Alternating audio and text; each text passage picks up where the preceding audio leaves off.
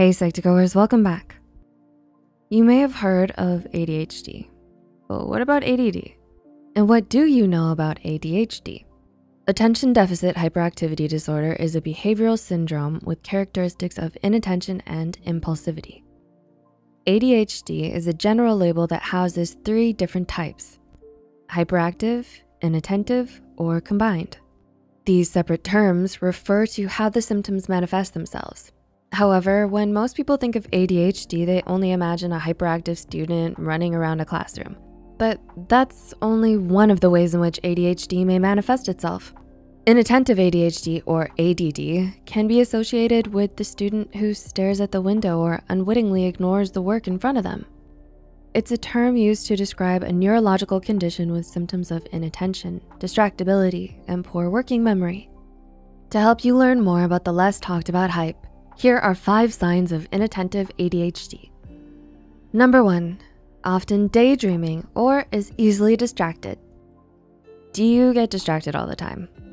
ADHD is typically associated with hyperactivity, but it would be stigmatizing and incorrect to assume that people with ADHD do not have moments of inactivity. Instead, inactivity is a predominant characteristic of inattentive ADHD, which at times may get misinterpreted as tranquility. This inattentiveness is not something you can control, but is usually a byproduct of lack of focus. This tendency to daydream or be distracted all the time can be problematic when it comes to doing schoolwork. For example, in a classroom setting, a child with ADHD may have trouble committing to an activity for an extended period of time, or with not paying attention when spoken to. In adults, this sign can manifest itself in the same way. Number two, is bored quickly. Are you always bored? Boredom itself is not a sign of a neurobehavioral disorder. In many cases, it just means your brain needs more mental stimulation. However, in the context of ADHD, Frequent bouts of boredom can point to difficulty sustaining mental effort. Overstimulating environments or activities can produce a sense of boredom because the constant barrage of stimuli can cause your brain to feel overwhelmed.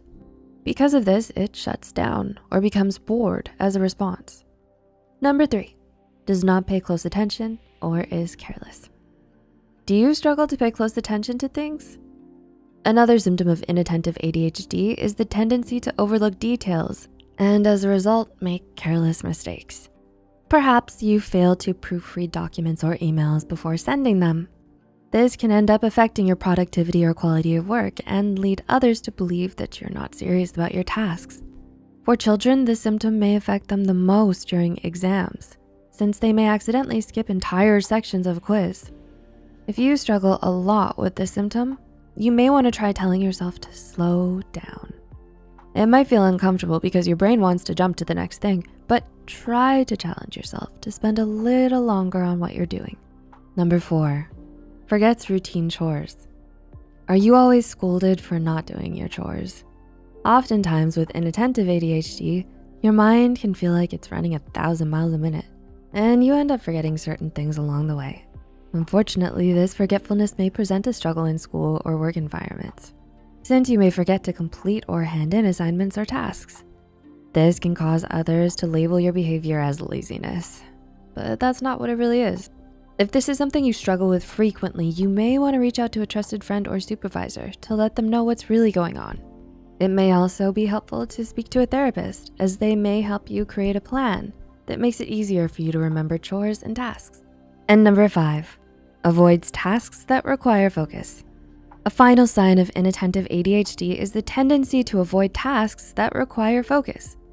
Since many people with ADHD experience difficulty controlling their focus, it should not come as a surprise that many will avoid tasks that require a lot of it.